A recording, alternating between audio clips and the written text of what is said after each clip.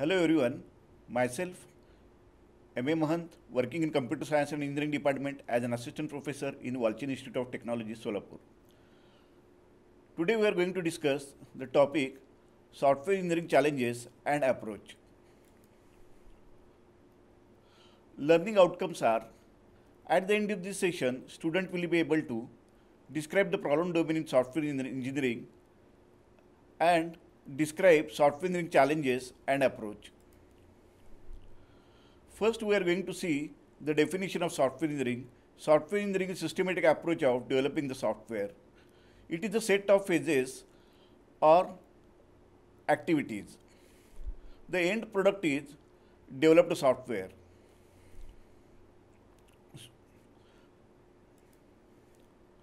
So, the importance of software engineering. Software engineering plays an important role in education, commercial organization, research, social media, military, and government organization. Mainly, softwares can be class classified into two types application software and system software.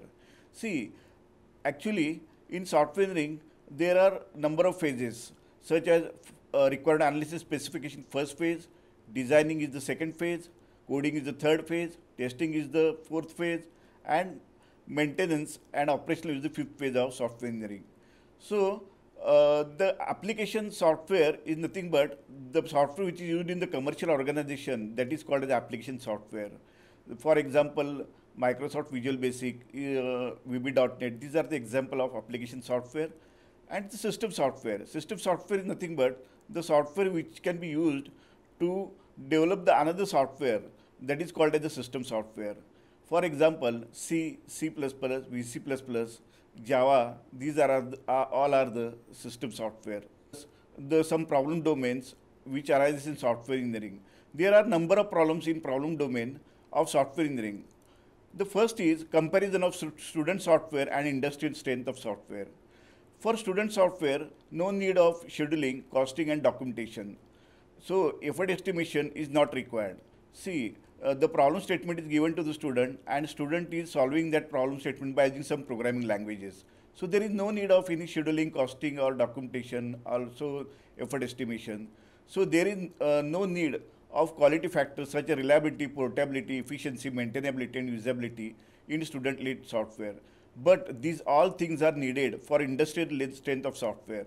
So for the industrial uh, strength of software, the scheduling, costing, documentation, and all quality factors such as reliability, portability, efficiency, and maintainability and usability is required. So this is used in business routine to solve the problems of clients and used by clients of that organization. The second problem domain is software is expensive. The uh, see software development is labor in, uh, intensive so productivity means total number of lines of code developed for that specific software product. So $20 uh, per thousand lines of codes per month. Now software cost is 80% and hardware cost is 20%. So consider all these things for the software is expensive. By uh, so this is the labor uh, intensive job and consider the cost of hardware and software. This software is more expensive. The third uh, problem domain is deployment of software late and reliable. See, after development of software, it is deployed to the client, but for some projects are running out of schedule and cost.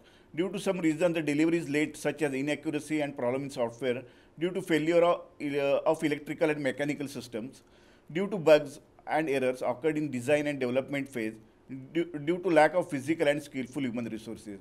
So there is so many reasons that the uh, delivery of software gets failure uh, due to the lack of uh, non-skillful human resources or due to hard hardware failure, software failure, or due to bugs and errors in the software. The next uh, problem domain is maintenance and reworks. After the development of software, it is deployed to the client. If client faces any problems or errors while operating that software, then developer bring that software in their office and repair the software by removing bugs and errors. This is called regression testing and rework can be done. Again, repaired software de deployed to the clients.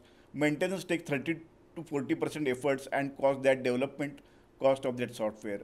So in maintenance rework, the problem which arises at the client side, they are repaired at the development office and that uh, errors are removed and bugs are removed by making modification in that software. Uh, so the rework can be done here. So this uh, this is also uh, one part of the problem domain that is maintenance and reworks. There are two types of uh, maintenance: are corrective maintenance, adaptive maintenance. The corrective, uh, the errors from the software is called corrective maintenance. We are removing the error from the program. That is called as a corrective errors. Uh, and removing the errors or convenience of the software in latest version or modification or upgrading the software adaptive maintenance. So in adaptive maintenance, we are updating the software. At that time, some testing can be done. Uh, that is, uh, some maintenance can be done by conversion of software to the latest uh, in latest version, or some modification be done. That is called as adaptive maintenance. So there are two types of maintenance: corrective maintenance, adaptive maintenance. So commonly, removing the error from the program is called corrective maintenance, and the adaptive maintenance means of conversion of software into latest version. The next part is the software engineering challenges. The first part, satisfy all the needs of required from the developed software. So this is one of the challenge. Means what, whatever the requirements you have specified in SRS, it means software required specification document, which is the output of first phase, that is required analysis and specification. So when you are develop, uh, develop, developing your software, you have to see that all the requirements of the customer are satisfied by that software. You are converting all the customer requirement into the automation. So this is the one of the challenge that you have to satisfy all the require, customer requirements uh, in, uh, by using that software. So the second uh, software challenge is scale. Scale means as the size of the project increases, then we are moving from some informal method of development to formal method of development. So more resources, method, tools and techniques and management activity are required for software development. See, scaling means what? As the size of the project goes on increasing, definitely you are moving from uh, uh, uh, informal to formal method of development. So uh, more number of resources, method, tools, techniques are required for developing the software. So scaling is one of the software engineering challenges. The next is quality and productivity. If quality of the software is high, then productivity of that software is high. Cost, schedule, and quality are important factors in software development. Productivity means development of 1000 lines of code per, per month for that software. So maintaining quality and productivity is one of the software engineering challenge.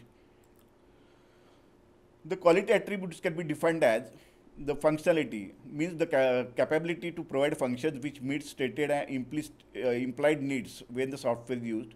Second, uh, quality attribute is reliability, uh, means failure-free operation of that software. The capability to maintain the special level of performance. Third, uh, quality attribute is usability, the capability to understood, learn and used. The next software challenge is consistency and repeatability. So high quality software being developed with high productivity, poor quality software being developed with poor productivity. It is a challenge in, in the software engineering faces uh, is how to ensure that successful results can be repeated and there can be some degree of consistency in quality and productivity. Differ in quality and productivity for different projects is an issue. So, uh, maintaining consistency and uh, the repeatability is one of the software engineering challenges. So providing consistency in quality, productivity and improvement in their processes, techniques, tools and methods use some frameworks for software development such as ISO 9001 and CMM capability maturity model used by an organization. So some frameworks are available for providing quality to that software that is ISO 9001 and uh, uh, capability maturity model which consists of uh, different uh, quality criterions and quality attributes. By using this, uh, we are maintaining the quality to that software. The next challenge is uh, changes changes in the business rapid, so software will not be rigid. It accepts all the changes. It accepts modification. Number of changes in software. It accommodates all the changes and solve few problems. That the changes are resistant. Software is ready to accept any modification after development. So changes due to business uh, requirements or changes due to some modifications at the client side, uh, changes due to some uh, uh, uh requirement of the programs or some change in the requirements so the changes can be uh, made in the software. So that is one of the software engineering challenge. Now I am going to ask one question to all the students. You have to answer that question. Dash means total number of lines of codes developed for that specific software product. Option A, productivity. Option B, portability. Option C, efficiency. Option D, reliability.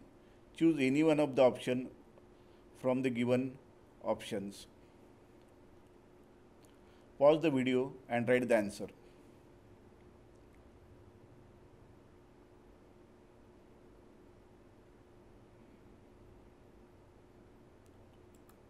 The answer is productivity.